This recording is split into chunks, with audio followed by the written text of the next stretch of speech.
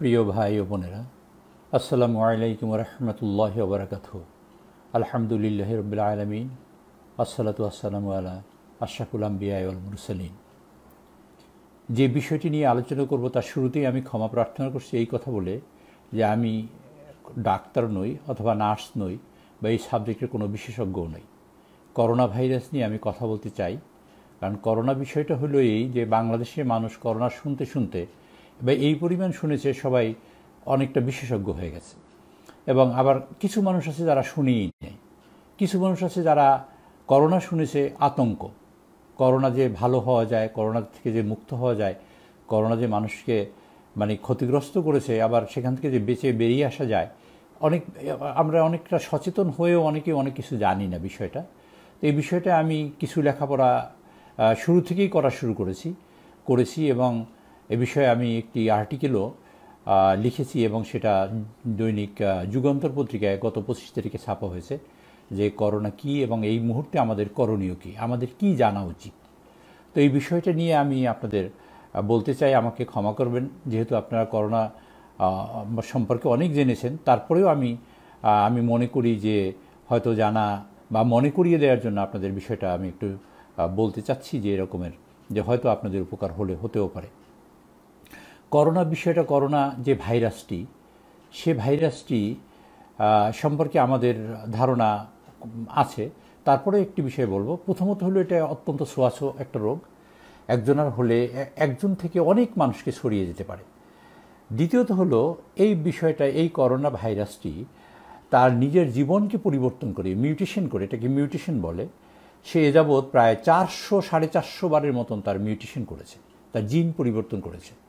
কি করেছে? সে যদি গরমে যায়, সে গরমের মতন পরিস্থিতি তৈরি করে এবং সেখানে সে বাঁচতে পারে, সে অ্যাডাপ্টেশন তৈরি করতে পারে সেখানে। আবার যদি শীতের মধ্যে যায়, সেখানেও সে বাঁচতে পারে। যদি মধ্য মানে নাতিশীতোষ্ণ অঞ্চলে যায় বা এরকম জায়গায় যায়, সেখানেও সে বাঁচতে পারে। যে কোনো পরিস্থিতি সে খাপ খাইয়ে নিজেকে বাঁচিয়ে রাখতে পারে। যে কারণে সে খুব মারাত্মক এবং ভয়াবহ উঠেছে সমগ্র বিশ্বের মানুষের কাছে। সমস্যাটা হচ্ছে এখানে যে সে পরিস্থিতি খাপ খাওয়াবার কারণে বিজ্ঞানীরা আজ পর্যন্ত, এখন পর্যন্ত হাজারো চেষ্টা করেও ভালো কোনো ফলাফল তৈরি করতে পারেনি, কোনো ঔষধ তৈরি করতে পারেনি। করোনা ভয়াবহতাটার কারণেই যে এটার কোনো ঔষধ নেই। এখনও চিকিৎসা বিজ্ঞানরা এরকম আগাতে পারেনি। হার্ট অসুখে অনেক মানুষ মারা যায় এবং হার্ট অসুখে অনেক বেশি মানুষ মারা যায় করোনার তুলনায়। কিন্তু হার্ট নিয়ে মানুষ এত উদ্বিগ্ন না। কারণ চিকিৎসা আছে, ঔষধ আছে, ডাক্তারের কাছে যাওয়া যায় হসপিটালে যাওয়া যায় আত্মীয় স্বজন আছে, দৌড়দৌড়ি করতে পারে সবাই। কিন্তু করোনা হলে একটা ভীষণ অসুবিধা হয় যে আত্মীয় স্বজনরাও কাছে আসতে পারে না ডক্টররাও চিকিৎসা নিতে পারে না, চিকিৎসার সুযোগও নেই, চিকিৎসা করার মতো কোনো মেডিসিনও নেই। সো এই বিষয়টা হলো এই কারণে ভয়াবহ। তো এই ভয়াবহর কারণটা, এই বিষয়টা জানা, আমাদের জানতে হবে এইটুকু যে করোনা কেন হয়, কীভাবে হয়, শরীরে কেমনে প্রবেশ করে, আবার হলে আমাদের করণীয় কী? হওয়ার আগে আমাদের পদ্ধতি এর ঔষধ একটাই আছে। সকল মানুষই আমরা জানি সেই ওষুধটা কিন্তু আমরা কেউ মানি কেউ মানি না। করোনাটা শরীরে প্রবেশ করে মূলত মুখ দিয়ে এবং নাক দিয়ে। কান দিয়ে এবং চোখ দিয়ে প্রবেশ করে, কিন্তু মেইন এন্ট্রি পয়েন্ট হলো মুখ এবং নাক। এখান থেকে আমরা যে বাতাস নেই, করোনাটা বাতাসে ভেসে বেড়ায়। তো বাতাসে ভেসে বেড়ায়, এ ব্যাপারেও বিজ্ঞানীরা আজ পর্যন্ত কোনো পারফেক্ট কনক্লুশনে আসতে পারে না কারণ হলো এই যে এখন পর্যন্ত যেহেতু তার স্ট্রাকচারই ফাইন্ড আউট করতে পারে না তার সম্পর্কে এখনও ক্লিয়ার ধারণা হয় নাই, সেজন্য এক একদিন এক এক ধরনের তথ্য আসে। বিশ্ব স্বাস্থ্য সংস্থা এই কয়েকদিন আগে বলেছে, আগে আগে আমরা শুনেছি করোনা তিন ফিট থেকে সাত ফিট পর্যন্ত মুভ করতে পারে বাতাসে। কিন্তু এই মাত্র পাঁচ, ছয় দিন আগে বলেছে তারা বিশ থেকে বাইশ ফিট পর্যন্ত যেতে পারে। তা ধরুন, বাইশ ফিট যদি যায়, সেটা তো একটা ভয়াবহ বিষয়। তো বাইশ ফিট ধরুন, আমি একটা হাসি দিলাম। আমার হাসি থেকে যে ড্রপলেট বেরোলো সেই ড্রপলেটের সাথে যদি একটা জোরে বাতাস আসে, তাহলে সেই করোনা ভাইরাস তো অনেক দূর যেতে পারে তখন। সো এটা বাতাসে ভেসে বেড়াতে পারে। তো এইরকম যে একটা পরিস্থিতি, তো এই এই পরিস্থিতিতে কি হতে পারে? যেমন ধরুন, একটি মানুষ, আমি আমি, একজন আমি একজন মানুষ। আমি যদি করোনা আক্রান্ত হই, আমার কাশি হলো না, সর্দি হলো না, জ্বর হলো না, কিছুই হলো না, অথচ আমি আক্রান্ত হলাম কেবল। দুদিন হলে আক্রান্ত হলাম, আমি এখনও সিমটমটা প্রকাশ পাইনি। আমি বাজারে গেলাম, আমি গান শুনতে গেলাম, আমি অনুষ্ঠানে গেলাম বিয়ে অনুষ্ঠানে গেলাম। আমি একটি মানুষ আমার শ্বাস থেকে, আমার মুখ থেকে যখন কথা বলব, আমার কথার মধ্যে কিন্তু লক্ষ লক্ষ থুথুর কণা বের হয় এবং সব মানুষই এটা বের হবে। সো আমার মুখ থেকে যে সব মানুষ আমার কাছাকাছি বলবে তারা সবাই কিন্তু আক্রান্ত হবে এই করোনায়। এবং যিনি আক্রান্ত হবেন, তিনি কিন্তু পাশে অনেক মানুষকে আক্রান্ত করতে পারেন। আক্রান্ত করার পদ্ধতি কিন্তু এই। একটি মানুষ আক্রান্ত হলেই কেবল আমরা জানব তা কিন্তু নয়। যে আক্রান্ত হইল, অসুস্থ হইল, জ্বর হলো বাড়িতে শুয়ে আছে, ঘুমিয়ে আছে, বা সে বুকের শ্বাসকষ্ট হয়েছে, তখন আমরা জানলাম।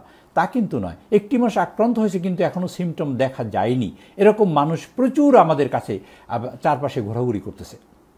আমাদের দেশে করোনা কী করে আসলো? এরকম একজনে নিয়ে আসছে বিদেশ থেকে, বা পাঁচজনে নিয়ে আসছে। পাঁচজন দশজনের কাছে গেছে, দশজন, পঞ্চাশ জনের কাছে গেছে, পঞ্চাশ জন, একশো জনের কাছে গেছে।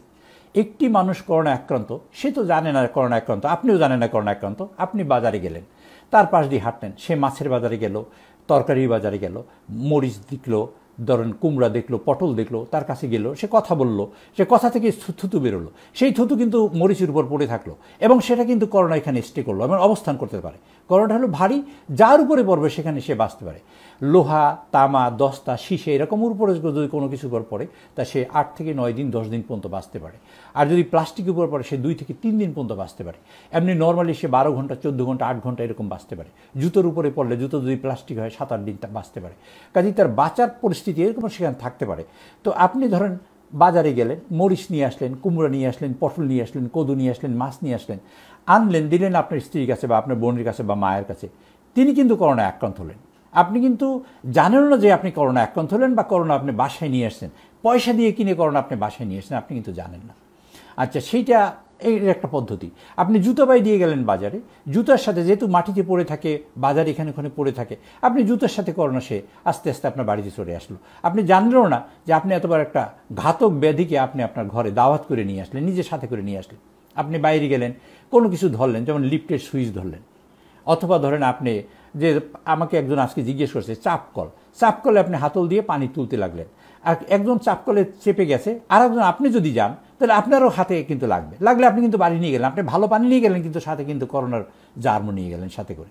তো সেখানে চাপকলের ক্ষেত্রে আপনি একটা টিস্যু ইউজ করতে পারেন বা পলিথিন দিয়ে চাপতে পারেন, অথবা একটা গাছের পাতা দিয়ে চাপতে পারেন।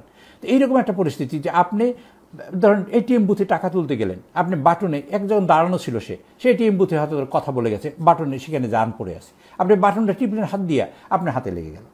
তো সেখানে আপনি গ্লাভস ইউজ করতে পারেন, টিস্যু ইউজ করতে পারেন, যে পদ্ধতিতে হোক মানে কথা হলো এই যে আপনার হাতে লাগলেই এটা বিরাট ভয়াবহ অবস্থা। হাতে লাগলে আপনি কোনোভাবে যদি আপনি মুখে চুলকনি দিলেন বা কোনোভাবে দিলেন, তা আপনি কাছাকাছি এসে গেল কিন্তু। আপনি বাসায় গেলেন, আপনার বাচ্চা এসে আপনাকে জড়াই ধরলো, তার গালে লাগল সেটা কিন্তু অ্যাফেক্টেড হয়ে গেল। মানে বিষয়টা মানে আপনি এটা ভয় দেখাবার জন্য না, বিষয়টা আমাদের বোঝার জন্য, মাত্র সচেতনতার জন্য। আমরা কিন্তু জাতি হিসেবে কিন্তু ক্ষতিগ্রস্ত হব মাত্র সচেতনতা না না থাকার কারণে বা সচেতন না হওয়ার কারণে। যেহেতু ঔষধ নাই, সরকার ধরুন চাইলো আপনাকে চিকিৎসা করবে, সরকারের সরঞ্জাম কী আছে, কী দিয়ে চিকিৎসা করবে, কোনো ঔষধ নেই। আপনাকে হসপিটালে যাবে, কতটা হসপিটালে যেতে পারবেন? আমরা যদি শত শত, হাজার হাজার মানুষ আক্রান্ত হতে থাকি, সরকার ইচ্ছে করলে কী করতে পারবে? বিষয়টা, চিকিৎসাটা কিন্তু আমার নিজেকেই নিতে হবে। নিতে হবে এই যে আমার মুখে যাতে প্রবেশ না করে, নাকে যাতে প্রবেশ না করে। তার জন্য হলে এক ধরনের চিকিৎসা ব্যবস্থা, না হলে যেটা আমরা করব। না হলেই আমাদের যেটা করতে হবে সেটা হলো আমরা এতদিন একটা একটা বিষয় কিন্তু আমাদের মধ্যে একটা ভুল ধারণা হয়েছিল যে আমরা চোদ্দ দিন যাবৎ কোয়ারেন্টাইনে থাকব। চোদ্দ দিন কোয়ারেন্টাইন থাকার অর্থটা দাঁড়ালেই যে মনে করেছিলাম যে চোদ্দ দিন পরে আমাদের ছুটি, আর কোনো সমস্যা নেই। কিন্তু তা না। চোদ্দ দিন পরে কিন্তু আসল জিনিসটা শুরু হবে। কি শুরু হবে? চোদ্দ দিনে আমাদের প্রমাণ হলো যে আমি আমি এই করোনায় আক্রান্ত হইনি। এইটি হলো প্রমাণিত হইল। তাহলে আমি সেফ কিন্তু চোদ্দ দিন পরে আমি আর যাতে কোনোভাবে না বের হই, কোনোভাবে সংমিশ্রিত না হই, কোনো আক্রান্ত ব্যক্তির কাছাকাছি না পৌঁছই, এই দায়িত্বটা কিন্তু আমাকেই পালন করতে হবে এই চোদ্দ দিন পরে। এবং যতদিন পর্যন্ত না সেফ না হয়, ততদিন পর্যন্ত কিন্তু আমাকে এই কোয়ারেন্টাইনের ব্যবস্থা আমার নিজেকে নিজেরটাই করতে হবে। নিজেকে বাঁচিয়ে রাখার দায়িত্ব এখন নিজের কাছেই পড়তেছে। সরকারের হাজারও চেষ্টা করলেও এখানে কিছু করণীয় কিন্তু অ্যাকচুয়ালি নাই। আমাদের এই জিনিসটা কিন্তু বুঝতে হবে। অসুস্থ হইলাম, আমরা সরকারকে দোষ দিলাম, সরকার চিকিৎসা করতে পারল না, করার কিছু নেই। ডাক্তারদের যদি দোষ দিই, ডাক্তারও তো একটা মানুষ। চব্বিশ ঘণ্টা যদি ডিউটি করে, একটা মানুষ কত ডিউটি করতে পারবে? এটা কিন্তু আমাদের বুঝতে হবে কিন্তু আমাদের ভিতরে। করোনা আমরা কিন্তু বাইরে যদি যাই, আমরা করোনাকে কিন্তু বাইরে থেকে আমরা নিজেরা নিয়ে আসব। আমাদের গ্রামে অনেক মানুষ এখন কিন্তু দৌড়দৌড়ি করে এখনও বাইরে। গুরুত্বই বুঝতেছে না। আজকে ধরেন ইটালি, একটা শক্তিশালী দেশ। ফ্রান্স একটা শক্তিশালী দেশ, বিশ্বের সবচেয়ে উন্নত দেশ আমেরিকা। আমেরিকার সরকার এখন মানে চরম অশান্তির মধ্যে পড়েছে। এবং তারা জানে না যে অ্যাকচুয়ালি তারা কীভাবে এটাকে এখন মানে বাধাগ্রস্ত করবে। তারা অসম্ভব রকমের বিপদগ্রস্ত হয়েছে এবং সেখানে প্রতিদিন মানুষ মারা যায়। বাংলাদেশে আলহামদুলিল্লাহ, এখন পর্যন্ত আমরা অনেক ভালো আছি। এখন পর্যন্ত অনেক ভালো আছি। হ্যাঁ বলতে পারেন আপনার অনেকে যে টেস্ট হয় না সেই জন্য আমরা অনেক ধরা পড়ে না সেই জন্য আমরা ভালো আছি। ফাইন টেস্ট হয় না টেস্ট হলে আমরা ধরা পড়লে তারপরে আমরা কি করতে পারলাম? ধরুন আমার করোনা, আমি আক্রান্ত হয়েছি, আমি, আমার জার্ম আছে, আমি এখন টেস্ট হইলাম, আক্রান্ত হইলাম। আমাকে কি করতে পারবে গভর্নমেন্ট? কোনো চিকিৎসা তো নাই। আমাকে ভেন্টিলেশন দিয়ে শুধু অক্সিজেনের সাপোর্ট দিতে পারবে। কতক্ষণ দিতে পারবে? কি দিতে পারবে? আমাদের কয়টা ভেন্টিলেটর আছে? ধরুন এক হাজার ভেন্টিলেটর আছে। বাংলাদেশে যদি পাঁচ হাজার মানুষ আক্রান্ত হয় বা দশ হাজার মানুষ আক্রান্ত হয় কোনো কারণে, তো এক হাজার ভেন্টিলেটর দিয়ে কী করবে? বাকি মানুষরা করতে পারবে কি? কিছুই করণীয় নাই। আক্রান্ত হলেই কেবল এটা ক্ষতি। এখন আমাদের যে কাজটা মূলত করতে হবে, আক্রান্ত না হই তার ব্যবস্থাটা কিন্তু প্রথম থেকেই করতে হবে এবং আমাকে সজাগ থাকতে হবে তার জন্য। হুশ রাখতে হবে আমাকে সেইখানেই। আমার কি করতে হবে? নাম্বার ওয়ান আমি বাইরে যাব না। আমি আক্রান্ত হোক, অনাক্রান্ত হোক, আমি বাজারে যাব না, বাইরে যাব না, আমি এখানে ওখানে দৌড়দৌড়ি করব না। কোনোভাবেই আমি মানুষের সাথে মিশবো না নাম্বার ওয়ান এটা এক নম্বর কাজ। দুই নম্বর কাজ হলো, আমি ঘরে থাকব, ঘরে বসে আমি আধা ঘণ্টা পর পর আমি গলাকে গরম পানি দিয়ে ভিজাবো বা গরম পানি খাব। এই করোনার জামটা কিন্তু গরমে মারা যায়। আমি লবণ দিয়ে গার্গেল করব। আধা ঘণ্টা পর লবণ গরম পানি খেলাম, আধা ঘণ্টা পর গরম পানি, লবণ দিয়ে গার্গেল করলাম। বা আমরা আধা ঘণ্টা পর কফি খেলাম বা চা খেলাম অথবা স্যুপ খেতে পারি। এগুলো, এটা কিন্তু চিকিৎসা। এটা নিজে অসুস্থ না হলেও কিন্তু চিকিৎসা, এটা করতে হবে। সারা দেশের মানুষের কিন্তু আমাদের করণীয়টা করা উচিত, নিজেকে বাঁচিয়ে রাখতে। আমি বাঁচলে কিন্তু আমার পরিবারের লোকেরা বাঁচবে। পরিবারের লোকেরা বাঁচলে আশেপাশে আর দশটা মানুষ সংক্রামিত হবে না। আমি না বাঁচলে আমার পরিবারের লোকেরা আক্রান্ত হবে। আক্রান্ত হলে আশেপাশে দশটা লোক আক্রান্ত হবে। এইভাবে কিন্তু ছড়ায় একবার এই পদ্ধতিটা কিন্তু একজন থেকে দশজন দশজন থেকে পঞ্চাশ জন পঞ্চাশ জন থেকে পাঁচ হাজার জন, পাঁচ হাজার থেকে এক লাখ জন। পদ্ধতিটি কিন্তু এই। আপনারা জানেন কি না জানি না, যে ইন্ডিয়াতে একটা স্টেটে, পাঞ্জাবের কোনো একটা স্টেট, কোনো একটা জায়গায় বিয়াল্লিশ হাজার মানুষ আছে, সেখানে কানাডা থেকে একজন মাত্র মানুষ আসছে। একজন মানুষ আসার পরে বিয়াল্লিশ হাজার মানুষ আক্রান্ত হয়েছে সেখানে। তারা টোটালি সবাই আক্রান্ত হয় নাই, বা টোটালি লকডাউন করেছে, একজন মানুষের কারণে। বিষয়টা কিন্তু এতই সিরিয়াস আবার আপনারা মনে করেন না যে আপনি ভয় দেখাচ্ছি? ভয় না কিন্তু এটা, আমাদের সচেতন হওয়ার জন্য। আমরা বাজারে যে জিনিস আনব, আমাদের বুঝতে হবে, বাজারে জিনিস নিয়ে আসলাম। আনলাম, আমাদের খাবারের জন্য বাজারে যেতে হবে, নিয়ে আসলাম। যে প্যাকেটটা আনলাম, আমার হাতে গ্লাভস রাখতে হবে। যদি গ্লাভস না দিই কোনো কারণে, আমি পুরো জামা পরবো গ্লাভস না করলে আমি স্যানিটাইজ করব, আমার হাতটা পরিষ্কার করব। বা পরিষ্কার করে যে জিনিস আনব টোটাল প্যাকেটটা খুলে আমরা সাথে সাথে একটা পলিথিন মিলে আটকে ফেলে দেবো এবং পরে ফেলে দেবো। অন্যতম পলিথিন ডিস্ট্রয় করে দেবো। ও পলিথিন কিন্তু রাখা যাবে না, কিন্তু ইউজ করা যাবে না। আমরা যদি একটা নির্দিষ্ট ব্যাগ নিয়ে বাজারে যাই, সেই ব্যাগটা এনে সাথে সাথে আমাদের খারওয়ালা সাবান যেমন আমরা যে কাপড়, যে সাবান দিয়ে কাপড় ধুই, সেই কাপড় সেই কাপড় ধোয়ার সাবান দিয়ে খাবার ওই পানিতে আমরা ব্যাগটাকে ভিজিয়ে রাখব বেশ কিছু সময়। খাবার আনলাম। খাবার এনে আমাদের ওই যে খারওয়ালা সাবান দিয়ে আমরা যেসব খাবার ধোয়া সম্ভব সেগুলো ধোবো। যেগুলো দেওয়া সম্ভব না, যেমন আঙ্গুর বা ধরুন এই টাইপের যদি ফল টল আমরা ধুতে পারলাম না, সেটা যে পানি চলে, চলমান পানি একটা টেপের নিচে দিয়ে বারবার আমরা ধোবো। আর বিশেষ করে লবণ দিয়ে ধুইলেও অনেক সময় জার নষ্ট হয়, লবণ দিয়ে আমরা ধুতে পারি, বেশ কিছু সময় ভিজিয়ে রাখতে পারি। আমরা খাবার এরকম করব। চলার ক্ষেত্রে জুতা আমরা যদি বাইরে যেতে হয় আমাদের বারবার, তা আমরা কিছু জুতো বাইরে রাখব। সেই একটা জুতো বাইরে রাখব, সেটা দিয়ে বাইরেই যাব। সেটা দিয়ে আমরা ঘরে ঢুকবো না। তারপরে আমরা ঘরের মধ্যে আমরা যে কাজ করতে পারি, সেটা হলো যেমন আমরা ব্লিচিং পাউডার, পানির সাথে গুলে আমরা এটাকে ঘরটাকে মুছতে পারি। আমাদের ঘরের বিশেষ করে দরজার হাতল জালনার গ্রিল, এইসব রডের, এইসব জায়গায় উপরে যদি পড়ে এটা করোনা ভাইরাস সাত, আট দিন থাকতে পারে। কাজে এইগুলো আমাদের মোছা দরকার, অথবা আমরা যে গাছে পানি দিয়ে স্প্রে আছে না, সেই সব স্প্রে দিয়ে আমরা স্প্রে করতে পারি। আমরা এইসব কাজ আমরা করতে পারি। এগুলো আমাদের করণীয়। এবং আমাদের যেটা করতে হবে, সেটা হলো এই যে কোনো অবস্থাতেই কিন্তু আমাদের কেয়ারফুল হতে হবে যে আমরা কোনো ঠান্ডা না খাই। আমরা এখন তো ফ্লুর টাইম একটা সিজনাল ফ্লু হতে পারে, আমাদের গলা ব্যথা হতে পারে, জ্বর হতে পারে, কাশি হতে পারে, সর্দি হতে পারে। আমরা কিন্তু কেয়ার হতে হবে, আমরা যদি ঠান্ডা পানি খেয়ে এরকম একটা পরিবেশ তৈরি হয়ে যেতে পারে। কাজে আমরা যাতে সেটা না হয়, সেদিকেও আমরা খেয়াল রাখব কিন্তু।